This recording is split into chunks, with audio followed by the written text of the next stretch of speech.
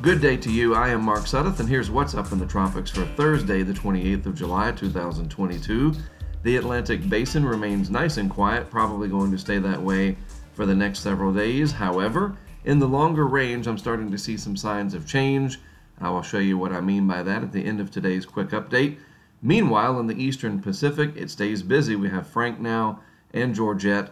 Neither of those systems will be impactful uh, probably not even indirectly with waves or anything like that. If so, it would be negligible. So no major impacts seen for Mexico, and that is good news considering how busy the Eastern Pacific has been. Satellite animation today, well, there's Georgette and Frank in the East Pac. The Gulf of Mexico has a little bit more in the way of shower and thunderstorm activity, but nothing that seems to be clustering together. Water temperatures in the Gulf are exceedingly warm, way above the long term average, but Again, nothing really coming together to solidify into a tropical storm or a hurricane or anything like that at all. Caribbean Sea and the western and southwestern Atlantic, those are all nice and quiet, as is the eastern Atlantic. However, look, you can see that tropical wave. I mean, it looks like sort of a dry hurricane or at least a dry storm. And that's pretty much what it is. It's a very well defined tropical wave.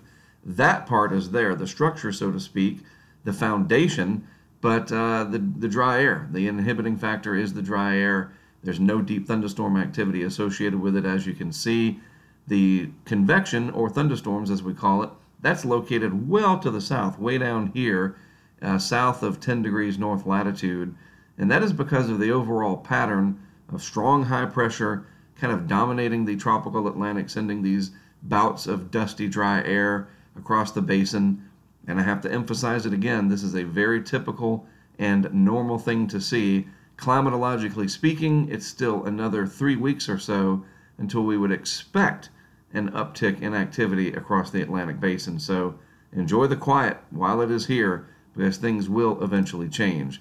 Here's a good look at that Saharan air. Look at all the oranges and reds and even some pinks in there. Just a very dominant pattern right now. But once that relents, all it has to do is let up just a little bit, and the tropics will become conditionally favorable for development all across the basin from Africa all the way over to the western Gulf of Mexico and pretty much every point in between. The vorticity shot here, uh, again, there's some energy out there, certainly, but the big inhibiting factor is the instability that's not there. It's not. It's a very stable atmosphere. Let's just put it that way.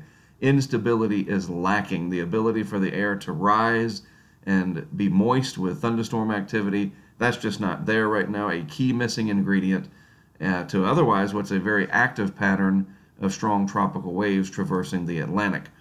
So here's that tweet that I was talking about, or at least the info, in the form of a tweet from my friend Zach Fradella in New Orleans that he's starting to see some small signals that things may wake up in the tropics over the next couple of weeks or so. It'll be August at that point, so no surprise there. That is a good point. Um, but what is that? That's the ensembles and just a general look at the lowering of pressures. Some of the ensemble members from the GEFS, that's the ensemble forecast system, picking up on the potential of some development in about the 10 to 14 day time frame. That does put us into the first part of August, and so that would make a lot of sense. So we'll watch and see if this signal persists, if it gets stronger, if it disappears. It is something to keep an eye on, though, as we move forward. All right, but at least the next several days will be nice and quiet. That is it from me for today, and I do wrap up my studies out here in the desert southwest. I was out here for the last week tracking the monsoon. I will talk more about that on Monday after I return and gather all of what I learned and just kind of put together a summary. Been an interesting week out here in Arizona and uh, Nevada and Utah uh, for sure. At least the rain has been here this year. They desperately need it. All right, that's it. I am Mark Sudduth. Thanks for tuning in to What's Up in the Tropics. I'll be back with more for you tomorrow morning.